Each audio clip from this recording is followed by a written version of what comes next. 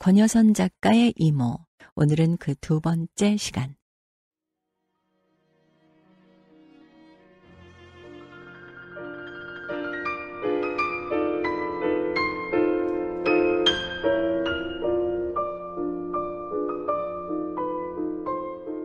물론 이모의 삶에도 적지 않은 우여곡절이 있었다.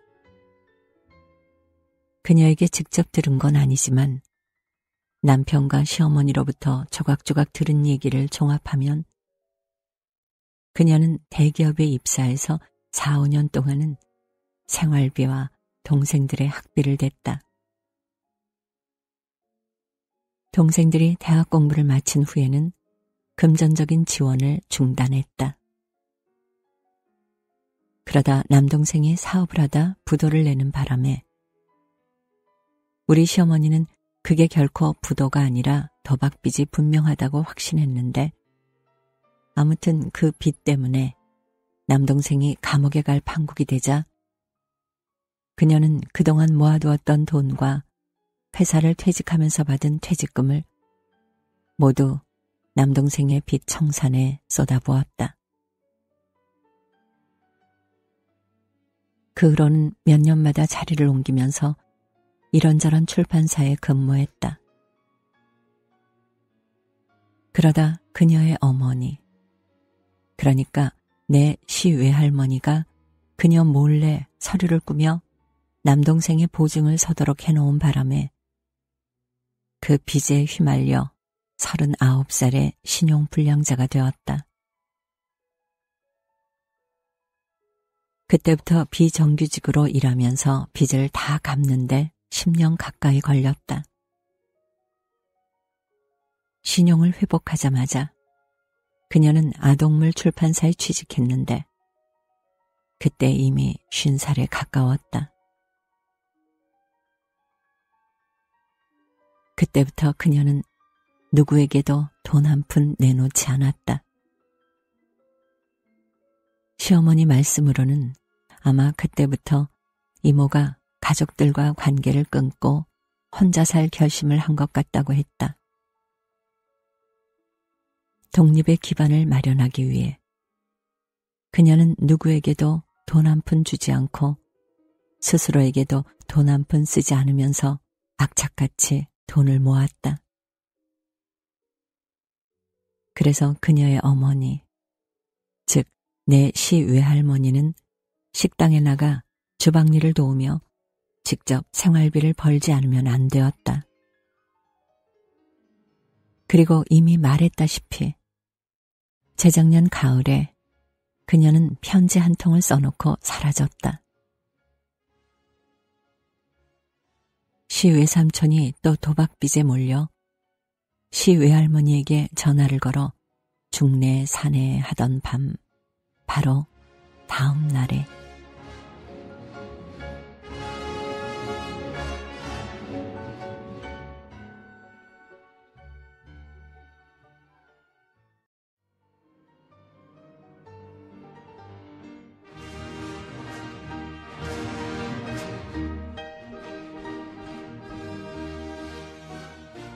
이모는 5년여 동안 1억 5천만 원 정도를 모았는데 1억은 아파트에 보증금으로 넣고 남은 5천만 원으로 돈이 떨어질 때까지 아무 일도 하지 않고 제멋대로 살아볼 생각이었다. 혼자 사는 건 그녀 평생에 처음 있는 일이었다. 전화가 없으니 아무도 그녀에게 연락할 수 없었다. 방문객이나 택배원, 우편 배달부 때문에 인터폰이 울리는 일도 없었다. 해야 할 일도 지켜야 할 약속도 없었다. 그 무엇도 그녀의 시간을 강제로 구획하거나 갑작스럽게 중단시킬 수 없었다. 자기 앞에 몇 년의 시간이 안개 낀 평원처럼 드넓게 펼쳐져 있다는 걸 실감한 뒤부터 그녀는 오로지 과거에 사로잡히고 말았다. 그녀는 멍하니 앉아 오래전 일들을 떠올리곤 했다. 아니, 오래전 일들이 아무 때나 불쑥불쑥 떠오르곤 했다. 그녀는 시간 가는 줄 모르고 과거에 깊이 몰입했다. 한참이 지난 후에야 몽위에서 깨어나듯 현실로 돌아오곤 했는데 그럴 때면 몹시 화가 났고 풀길 없는 원한에 사로잡혔다. 내가 처음부터 이렇게 철도 침묵처럼 규칙적으로 살았던 건 아니다. 그렇다고 자유롭게 살았냐 하면 그것도 아니지. 희망이 없으면 자유도 없어. 있더라도 막막한 어둠처럼 아무 의미나 무늬도 없지. 그때 나는 방탕하게 돈을 다 써버리고 얼른 죽어버리자 하는 생각밖에 안 했던 것 같다. 그러다 조금씩 변해서 지금처럼 살게 됐는데, 그게 아무리 생각해도 그날 밤 이후부터인 것 같구나.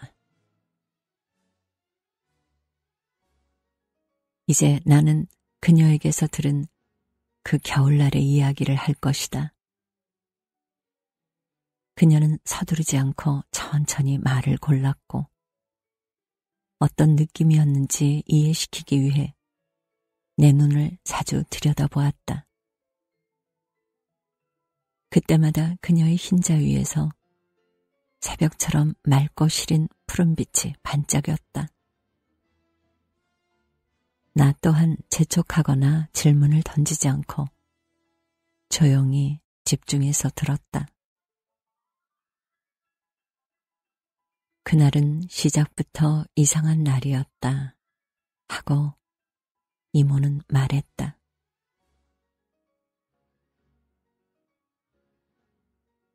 아침에 그녀가 베란다로 나갔을 때 세상은 밤새 내린 눈으로 하얗게 덮여 있었고 모든 것이 엄청난 한파 속에 바짝 얼어 있었다. 담배를 피우고 들어와 손을 씻으려는데 온수가 나오지 않았다. 그녀는 복도로 나가 계량기함에 덧대놓은 방풍지를 뜯고 계량기함을 열어보았다. 다행히 계량기는 터지지 않았으나 오래된 아파트라 복도 세시가 설치되어 있지 않아 두꺼운 천으로 감싸고 방풍 비닐을 씌워 놓았는데도 수도관이 얼어버린 것이다. 그녀는 옷을 두껍게 챙겨 입고 시장으로 나갔다. 눈은 완전히 그쳤지만 날씨는 조금도 눕지 않아 매섭도록 기운이 낮았고 눈이 시릴 만큼 햇살이 강했다. 문화센터 앞 벤치에 늙은 노숙자가 앉아 있었다. 오며 가며 몇 번 본 적이 있는 남자였다. 그는 늘 술에 취한 채 혼잣말을 했는데 대부분은 욕설이었다. 때로 그는 고개를 번쩍 치켜들고 여보세요, 여보세요 하며 지나가는 사람들을 소리쳐 부르기도 했는데 말끝은 목에서 뿜어져 나오는 후음에 묻혔다. 누구도 그 부름에 응하지 않았고 그의 속을 훑고 나온 독가스 같은 입김이 공기 중에 떠돌다 제 몸에 들러붙기라도 할 듯 바삐 멀어졌다.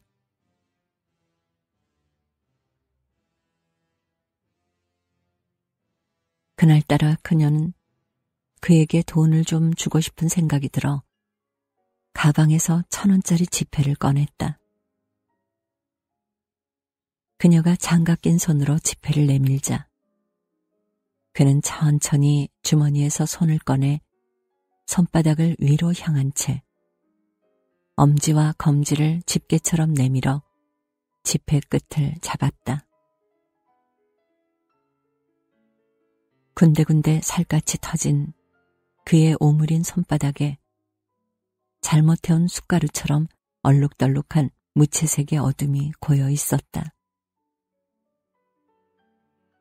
지폐를 놓는 순간 그와 눈이 마주쳤는데 추위로 눈물이 고인 그의 탁한 눈빛을 보자마자 그녀는 기이한 섬뜩함을 느끼고 허둥지둥 그 자리를 떴다. 금방이라도 그가 여보세요, 여보세요 소리쳐 부를 것만 같았다.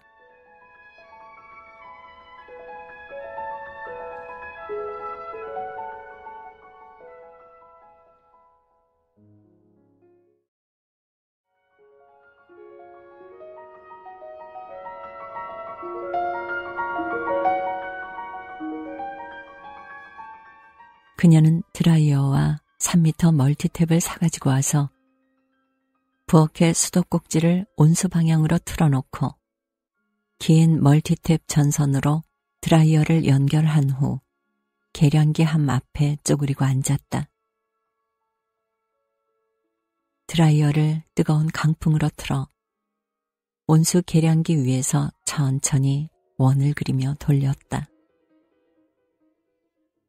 계량기가 터지지는 않았으니 언젠가는 녹을 것이다. 그녀는 가끔 드라이어를 끄고 부엌에 틀어놓은 수도꼭지에서 물이 나오는지 확인했다. 비닐봉지를 든 젊은 여자가 청청걸음으로 복도로 들어서더니 그녀에게 물이 안 나오느냐고 물었다. 그녀는 온수가 안 나온다고 대답했다. 젊은 여자는 드라이어 소리 때문에 못 알아들었는지 그대로 서 있었다. 그녀는 드라이어를 끄고 온수가 안 나온다고 한 번 더 말해 주었다. 여자는 다소 놀란 듯한 맹한 표정을 짓고 있었는데 눈이 물고기처럼 크고 튀어나와 더 그렇게 보이는 것 같았다. 그럼 아무 물도 안 나오겠네요 하고 물고기 눈에 여자가 물었다. 그녀는 애써 짜증을 억누르고 냉수는 나오고 온수만 안 나온다고 세 번째로 말해 주었다. 여자가 고개를 갸웃하더니 어, 우리는 냉수만 안 나오는데 했다. 그럼 얼른 녹이라고 하자 여자의 얼굴에 미안한 웃음이 스쳤다. 우리 집 계량기는 멀쩡해요. 여자는 좋은 정보라도 주듯 눈을 깜빡거리며 그러니까 냉수가 단수인 거죠. 했다.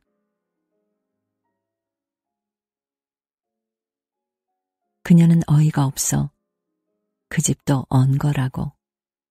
우리 집 계량기도 겉으로는 멀쩡하지 않느냐고 말했다. 젊은 여자가 얼른 고개를 숙이고 그녀의 계량기 함을 들여다보았다. 여자의 삐친 머리칼이 그녀의 볼을 간지렸고 비닐봉지에서 닭튀김 냄새가 풍겼다. 이게 언 거예요? 여자가 눈을 크게 떴다. 가까이에 얼굴을 들이밀고 있어 여자의 숨이 그녀의 얼굴에 끼얹어졌고 금세라도 여자의 튀어나온 눈알이 구슬처럼 굴러 떨어질 것 같았다. 누군가와 이렇게 가까이 있어 본 게 영겁처럼 오래전 일이라는 생각이 들었다.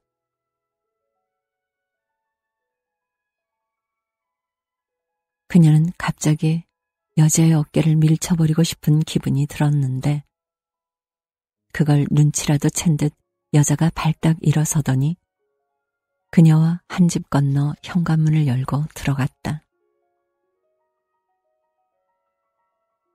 잠시 뒤에 여자의 남편으로 보이는 젊은 남자가 나와 계량기함에 방풍지를 뜯어 뚜껑을 열고 들여다보았다. 물고기 여자가 드라이어를 가지고 나오더니 냉수가 어느 쪽이에요, 할머니? 하고 물었다.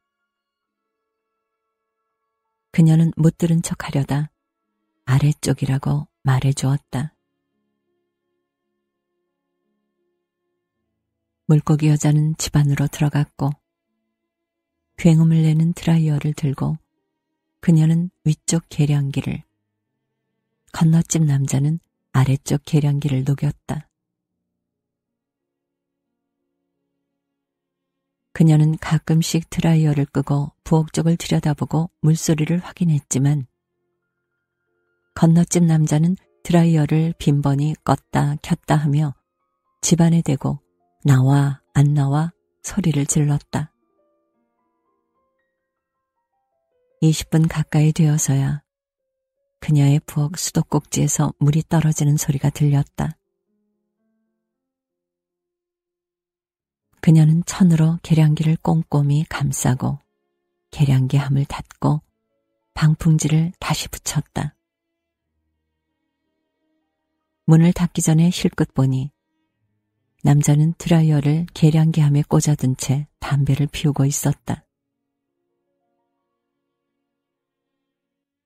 남자가 혹시 고맙다는 인사를 할까 싶어 기다렸지만 남자는 의식적으로 피하는 동작을 취하며 등을 돌렸다. 다 식은 닭튀김을 먹게 된 게 화가 났을 수도 있고 추워서 짜증이 난 걸 수도 있지만 그녀는 왠지 남자가 자기에게 화를 내고 있다는 생각을 떨칠 수 없었다. 어쩌면 남자는 돈이 들더라도 차라리 계량기가 터져 수도 사업소 사람을 불러 교체하는 편을 원했을지도 모른다. 남자의 등허리를 노려보다 그녀는 오싹한 증오를 느끼고 집 안으로 들어왔다.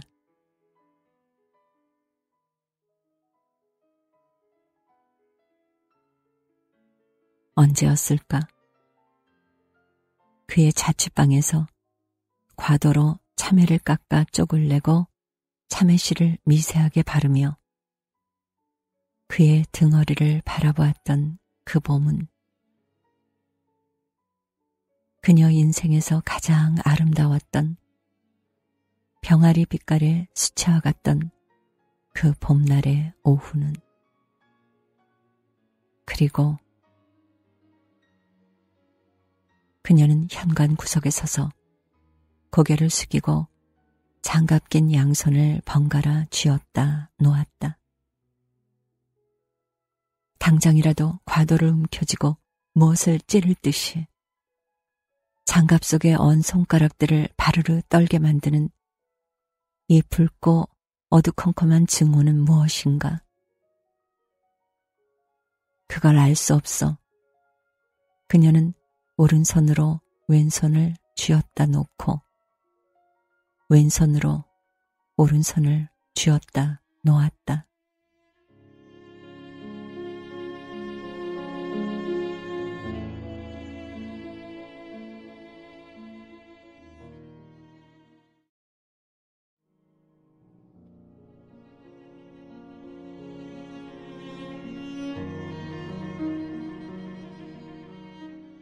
이모는 내가 그 등허리에 깊은 관심을 보이는 걸 알아차렸다. 그 사람은 장이 안 좋아서 참외 씨를 먹으면 안 되는데 단 걸 좋아해서 참외 속은 먹고 싶어 했지. 그래서 참외 씨를 하나하나 발라내야 했어. 내가 대리를 달았을 때니까 스물여섯이나 일곱쯤 됐을 때다. 그때 만나서 4, 5년쯤 사귀다 헤어진 사람인데 회사 다니는 사람은 아니고 공부하는 사람이었지. 나는 이모가 그 사람과 헤어진 시기가 시외 삼촌이 사업 빚인지 도박 빚인지 때문에 감옥에 갈 뻔한 때가 아니었을까 생각했다. 공부하는 사람이니 돈을 벌지 못했을 테고, 이모가 모아놓은 돈도 모두 날아갔고, 이모의 직장마저 불안정했으니, 결혼은 요원해졌을 것이다. 병아리 빛깔의 수채화는 대개 그렇게 붉고 어두워져 석양처럼 사라지고 마는 것이다.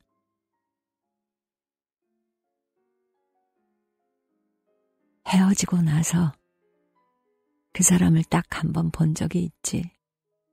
우연히 무슨 행사장 입구 같은 데서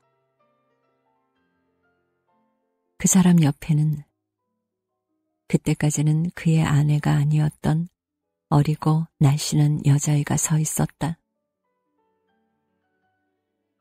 그 당시만 해도 여자들이 브레지어 끈을 드러내는 일이 드물었는데 그 여자애는 보라색 브레지어 끈이 드러나는 검정 탱크톱에 와인 빛깔의 미니스커트를 입고 있었다.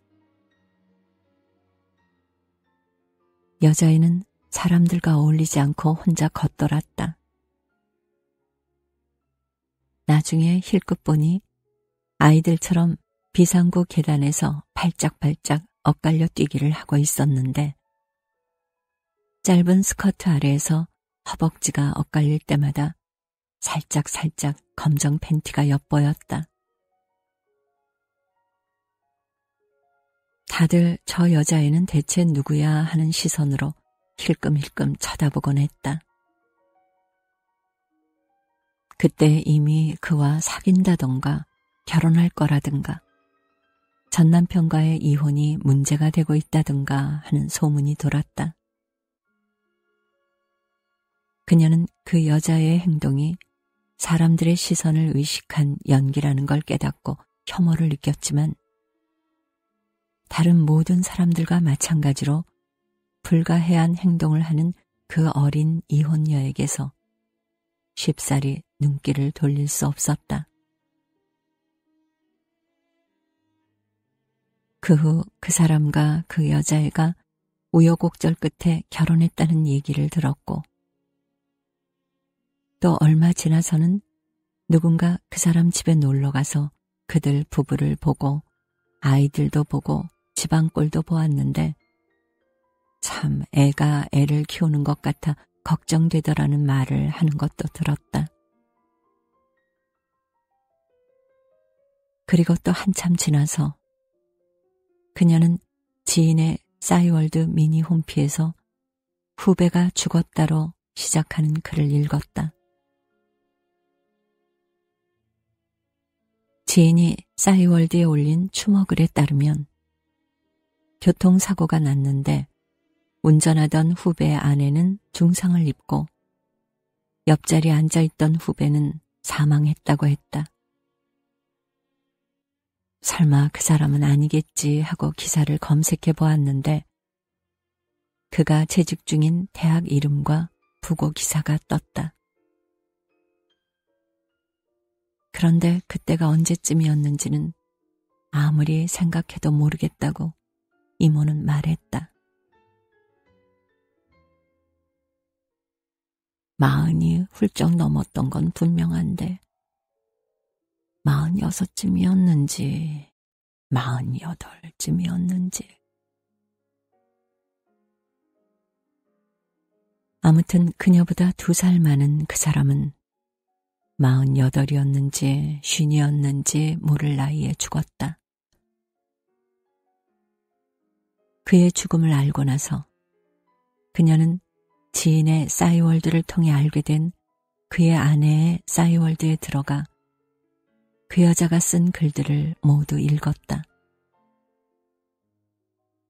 글을 잘 쓰지는 못했지만 많이 올리는 편이었고 여행을 자주 다니는지 사진도 많이 올렸다.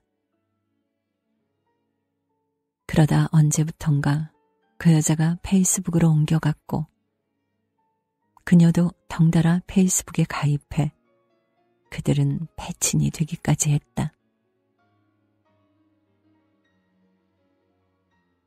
이모가 그 여자의 페이스북을 마지막으로 확인한 건 잠적하기 1, 2년 전이었다고 한다. 그 여자는 뜻밖에도 미국에서 살고 있었다. 그때가 선거철이었는지 그 여자가 재외 국민 투표를 했고 한국인인 게 자랑스럽다는 글을 올려놓았는데 그때에도 그녀는 깊은 혐오를 느끼면서 그 여자가 쓴 글과 그 밑에 달린 158개의 의미 없는 댓글을 모조리 읽었다. 그걸 끝으로 그녀는 다시는 페이스북을 하지 않았다. 내가 이모 나이에 싸이월드와 페이스북을 했다는 사실에 놀라움을 나타내자 이모는 다소 오만한 표정을 지었다. 네가 태우랑 동갑이라니 하는 말인데 나는 태우가 세 살 때 컴퓨터를 산 사람이다. 그땐 아래아 한글이 없어서 보석글을 썼다. 너는 모르겠지만 내가 하이텔이니 천리안이니 하는 통신을 시작한 게 서른 대여섯쯤이었고 한때는 통신 중독에 게임 중독이기까지 했다. 블로그는 귀찮아서 하다 말았고 싸이월드 좀 하다가 트위터와 페북으로 갈아탔지. 사실 나는 가족들과 관계를 끊는 것보다 온라인 관계를 끊는 게 더 힘들 정도였다. 그건 주어진 게 아니라 내가 선택한 거였고, 오로지 내가 쓴 글, 내가 만든 이미지만으로 구성된 우주였으니까.